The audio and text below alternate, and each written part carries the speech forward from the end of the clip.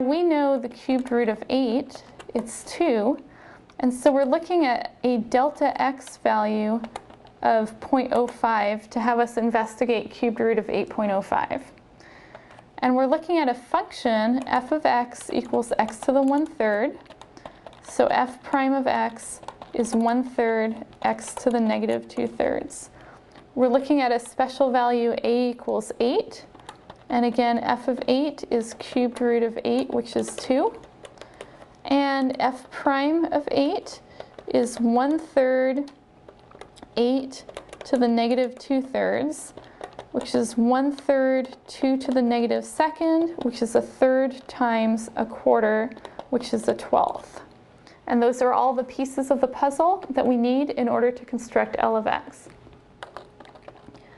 So L of x is supposed to be f of a plus f prime of a times x minus a. f of 8 worked out to 2, f prime of 8 worked out to 1 12th, and then we have a times x minus 8. And that's the equation of the line tangent to the curve at x equals 8. Now we would like L of 8.05. So we'll have 2 plus a 12th times 8.05 minus 8. The 8.05 minus 8 represents our change, delta x. And now we'll simply work out the results here. And so we have a 2 plus a 12th of 0.05. So throwing that into a calculator, we have 0.05 divided by 12 plus 2 equals about 2.00416 repeating. And that's actually an exact result for L of 8.05. And that's my estimate for the cubed root of 8.05, 8.05 to the 1 third.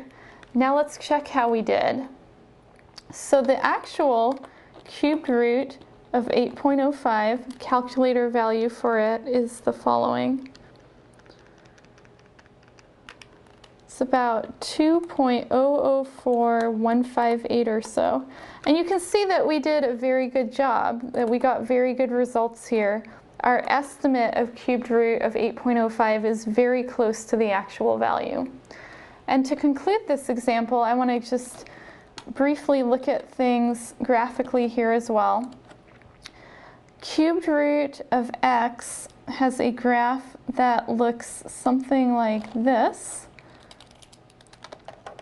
for positive x values, which is the region that we care about here. It has continues back like this as well.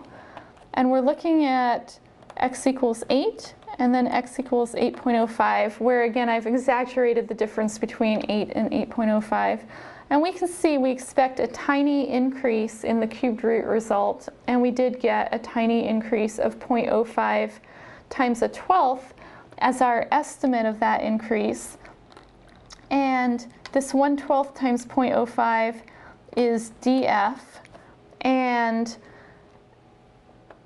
and this portion of the decimal result past the 2 is delta f. And again, df came out really similar to delta f.